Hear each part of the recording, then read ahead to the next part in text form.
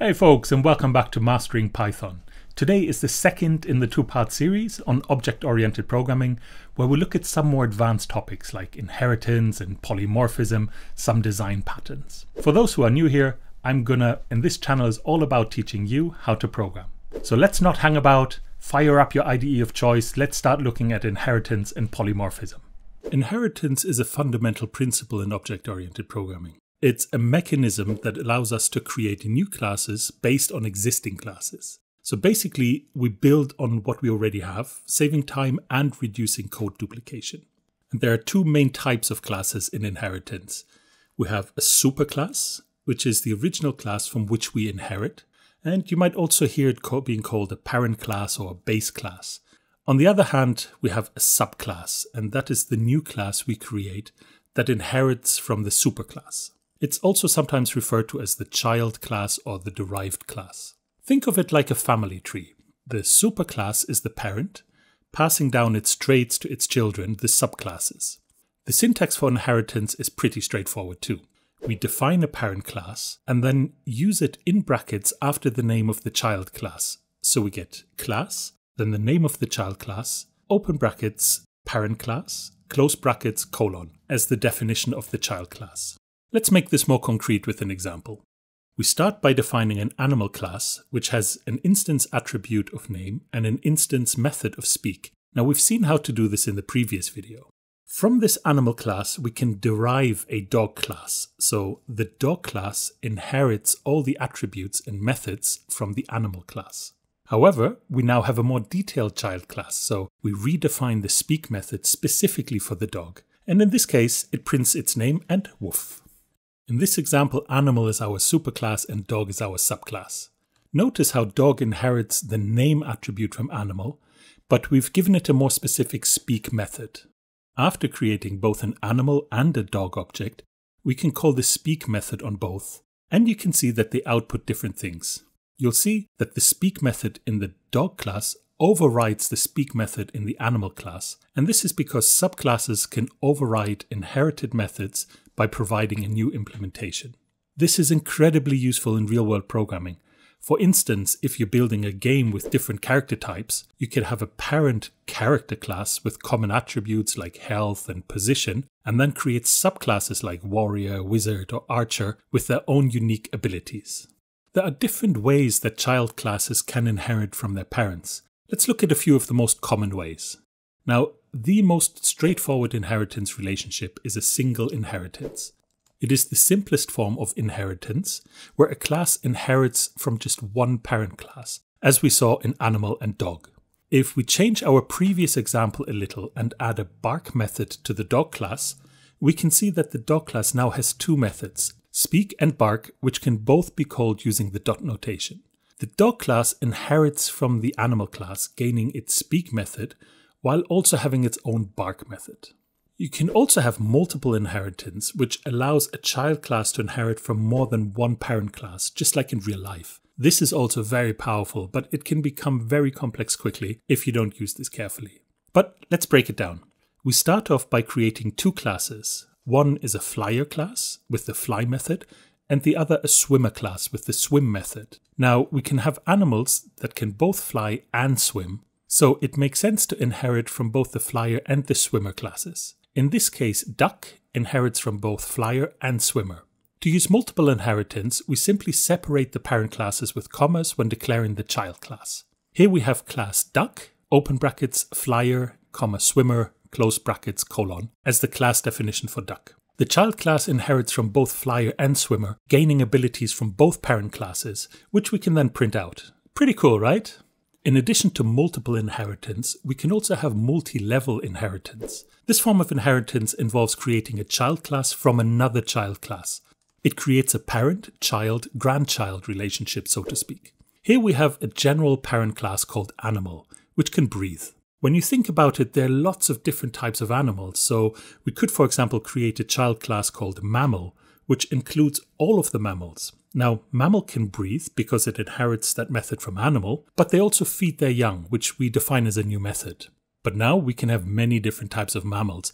A dog, for example, and instead of making dog inherit from animal and mammal, remember mammal already inherits from animal, we can let dog inherit from mammal and can break down the relationship even further. So we're creating a chain of inheritance. As this inheritance relationships get deeper, it also gets more complex and it's easy to lose the oversight of all of these relationships. Finally, we also have hierarchical inheritance. This is when multiple child classes inherit from a single parent class. Let's, for example, start with a new vehicle parent class, which has the method move. We can have both cars and boats that are vehicles and therefore inherit from the vehicle parent. These classes are now considered siblings. They both have access to the common move method, but also define class specific methods drive and sail. Inheritance is a great and powerful tool in Python, but one, like I said, that you must use carefully as it can lead to very complex and hard to maintain code. Now, sometimes we might want our children to do something different than the parent class, and this is where method overriding comes in handy, and we've already seen this we can define a method in the child class with the same name as the method in the parent class, and this new method then replaces the inherited one. Going back to our example of our animal and dog classes, the child class dog overrides the parent speak method and implements its own. You see, the dog now says woof. But sometimes we don't want to override the parent method, and instead we want to use the parent class method and then add some extra functionality. That's where the super function comes in. The super function refers to the parent class that we're inheriting from. If we expand our dog class, for example, we can first call the speak method of the superclass of the parent using the super function before implementing the new code. Right, imagine you're designing a video game with different types of characters. You know all characters will have some common behaviors, but you don't want to just create a generic character class that can be instantiated directly. And this is where abstract classes come in handy. An abstract class is like a blueprint for other classes. It can declare methods that must be implemented by its subclasses, but it can't be instantiated itself. Now, to create an abstract class, we use the ABC module, which stands for Abstract Base Class. Let's first import ABC and abstract method from the ABC module before creating our abstract class called character. Character inherits from ABC, which makes it an abstract class. And inside character, we define the methods that all child classes need to implement. We prefix these classes with the abstract method decorator. You'll notice that these methods don't have an implementation themselves, but are left empty. And this makes complete sense since we're just defining a blueprint for child classes and not a class that can be instantiated itself. We can then define a child class called warrior that inherits from the abstract class. Inside warrior, we then override the attack and defend method that were defined in the abstract class. And that's all there is to it. We can now instantiate the warrior class and call its methods. If you try to instantiate the abstract class directly, you'll get a type error. Now, abstract classes are great for defining a common interface for a group of related subclasses. They ensure that certain methods are implemented in derived classes. Okay, polymorphism. Imagine you have a magic box that can hold different types of animals. When you say speak to the box, each animal makes its own unique sound. And that's essentially what polymorphism is all about. Let's break it down. In programming terms, polymorphism is the ability of objects of different types to respond to the same method call, each in their own way. Here, for example, we start by defining three classes dog, cat, and duck. And each of these classes has a method called speak. The dog says woof, and the cat goes meow, and the duck goes quack. We can then define a function called animal sound that takes an animal object as parameter and calls the speak method on the animal it was passed without knowing the type of animal. Cool, right? So essentially, the animal sound function doesn't need to know what type of animal it's dealing with. It just calls the speak method, and each animal responds appropriately, since each animal, the dog, cat, or duck, has a speak method. And that is the beauty of polymorphism. It's a simple yet advanced mechanism at the core of object oriented programming. Right, now that we've covered polymorphism, let's have a look at another very common type of class, a mixin. Mixins are a way to add functionality to a class without using traditional inheritance. They're like little packets of methods that you can mix into your classes. We use mixins the same way that we define inheritance. Let's just look at a practical example. We start by defining two new classes, SwimMixin and FlyMixin. Each class defines a new method related to the class. For example, the SwimMixin defines a method called swim, and the FlyMixin defines a method called fly. Now, mixins do not have constructors or attributes, but simply define new methods. We can then define a duck class that takes on the methods from both swim and fly mixins through the inheritance syntax. Duck now has the methods swim and fly because it can do both, and we can call each of these methods on a duck object. Mixins are great for adding additional features to classes without creating the whole complex inheritance hierarchies. Right, this covers the main points of object oriented programming. I highly recommend that you play around with the topics that we've covered over the past two lectures to really get a feel for the advantages of object oriented programming. There are still many topics that we could have covered, but I leave it up to you to dive deeper into OOP and discover these by yourself. But before we end this two part lesson on object oriented programming, we'll have a look at something called design patterns. Now, design patterns are reusable solutions to common programming problems. There are a whole range of design patterns that you can come across in your programming journey, and there are entire books written on the topic. So we'll cover the two most common ones to get you started. Let's start with the singleton pattern, which ensures that a class has only one instance and provides a global point of access to it. This can be very useful for managing shared resources like configuration management or database connections. And this is how we implement it. Our singleton class has a specific protected class variable called underscore instance, which is initially set to none, as we don't have an instance to start out with. Now, Python has a built in method called underscore underscore new underscore underscore, which is called before any constructors are called, and it's responsible for creating a new instance of a class. We can take advantage of this and override the new method to check if the class variable instance is none or already set to a value.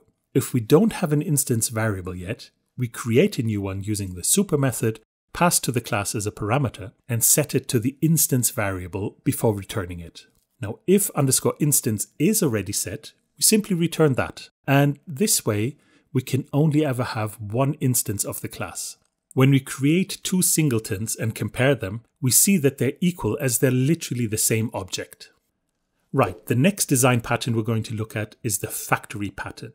The factory design pattern provides an interface for creating objects without specifying their exact class. This can be useful when the exact type of object needed isn't known until runtime, or if you want to decouple the object's creation process from the main logic of your program.